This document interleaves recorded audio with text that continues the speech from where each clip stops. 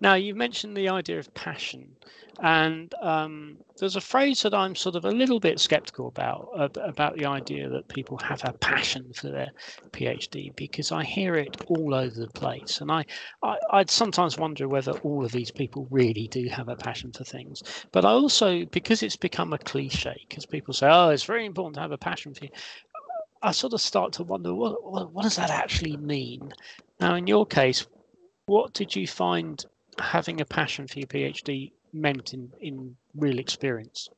Sure. Uh, so I think it's really comes down to what is a PhD in terms of a role is it playing in your own life? Uh, from experience, I, I found that PhD students usually uh, fall into one of two camps. Definitely, there are varieties within each camp, and there might be more camps, but like roughly speaking, there are those who go for a PhD because it's a bridge towards a bigger goal, something that they have always aspired for, whether that's a dream job in the business uh, community, mm. nonprofit, or an academic job, becoming a scholar or professor. Uh, so for them, a PhD is just the next uh, expected step. I finished mm. my undergrad. I have started. Yeah. Um, I started my master, PhD, maybe postdoc, etc. Uh, so they don't think of it as something as a standalone piece or something that they uh, are willing to invest maybe um, solely in it. They are always thinking of the next step, and that's I, I really admire these people who have this fortunate uh, kind of clear mindset from a very early age. Sometimes from college they have it. So um, yeah, chapeau for these people. Other people like myself are more um, kind of they go with the flow. I would say uh, it's more of um, a flexible and spontaneous experience. So I, for example, I only applied for my master when I was at the last year of my my undergrad because I bec- I just realized how passionate again passion how in love yeah. i was with the with the field of politics and um, security studies middle eastern studies and i just wanted to learn more so it was more for me the master degree was more of a learning journey rather than a step towards a career uh, and the same goes for the phd i the first time i actually found kind of it became clear in my mind these two camps wherein one i was in my master degree and i found so many, many people from the first few weeks we are in the master degree they are already applying for PhDs and uh, asking each other, "Have you applied? Are you, the deadline is approaching?" I was like, "We just started my ma- I just started my master degree. How come I should worry about my PhD?" And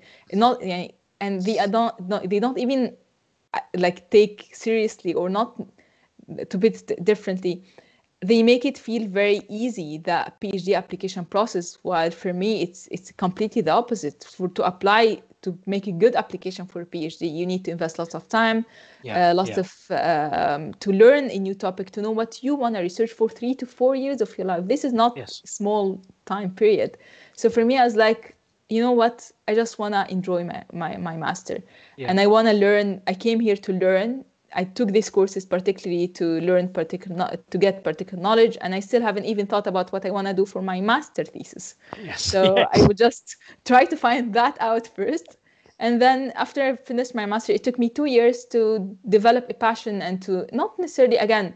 The passion here is more like you something that caught your attention and you start witnessing yourself following it closely. Uh, again and again and again, becoming like more attached to it. So it, it's an attachment, yeah. intellectual attachment to a subject. And then you want for like as if the doors have closed and you want to open them again. I want to learn again, and there is no more in the news or no more in the people around you who can teach you about that topic. So you went, so you kind of dig into a PhD degree where you have lots of people who are maybe in your field or in a kind of uh, joint field who can help you advance and you you become pers- you become your personal expert in this in this topic. So um, so in short i think it's it's really passion is about motivation and inspiration. It it comes more um, kind of in the front for some people than others but it does it doesn't really change the outcome per se i would say it changed the process how much you enjoy your your topic and how much you you you are attached to it and how much you progress maybe after your PhD. But you but for the outcome, hopefully everyone will get their PhD at the end. Yeah, yeah. Thank you. I think I think your phraseology there, uh, you talked about witnessing yourself developing an attachment. I think that's a great way of articulating it.